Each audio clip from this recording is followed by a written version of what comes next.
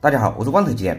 我的遥控风扇主板上面的晴窗按钮坏掉了，遥控器上面的呢，这个晴窗按钮也坏掉了。我手头呢没有这种型号的按钮，所以我在网上购买了三种。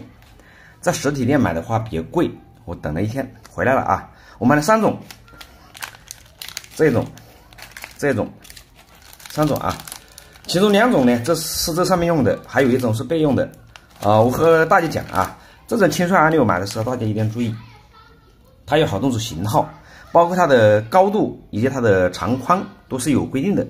呃，大家买的时候就一定要注意，根据你的电路板上面的这个尺寸去购买，你只要量它的长宽和高就行了。这里有六个是我从这个遥控板上面拆下来的，它的长宽都是六，高的五点五的。所以大家买的时候一定要注意啊，要量准。来，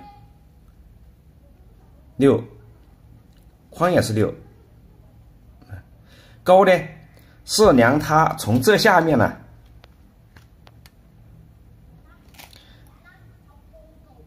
量这个地方呢，这个地方这个按钮的顶部的高度，它个整体的高度，像我这个是五点五的，遥控器上面的。这主板上的这个呢，明显就高一些，这个是六点五的，这是它尺寸要注意的地方。另外还有一个呢，大家注意啊，这种晴窗按钮有两个角它是通的，有两个角呢是按下去才通的。我们从正面看的话，它是一个正方形，对不对？但是我们从背面看的话就不一样了，对不对？好像这边到这边好像宽一些，这边到这边窄一些，因为它的角啊是装这边的，所以大家注意，它这两个角呢。这两个角和这两个角是通的，这两个角呢就是它的开关，这是通的。来，这两个角是通的，这两个角呢是我们按下去它才通，对不对？我们先把它一个一个上上去，按方向上好。有些朋友的意思呢，像这种按钮啊。他的意思把它这个拆开，然后把里面用高木的砂子把它打磨一下，他说还可以用。这个我不建议大家去这样操作啊。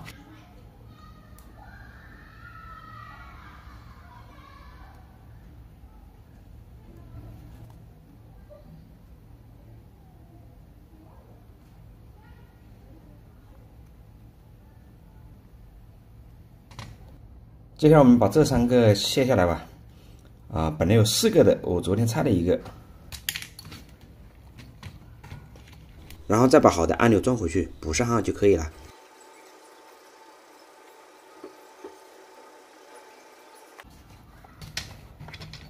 先试一下机吧，好吧，遥控。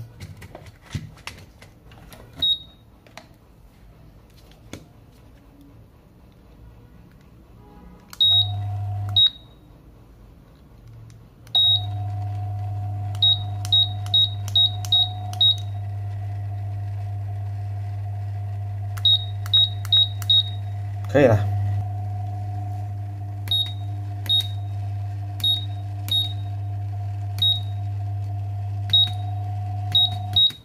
可以，非常好，现在把它装起来就可以了。好嘞，今天就给大家分享到这里，谢谢大家。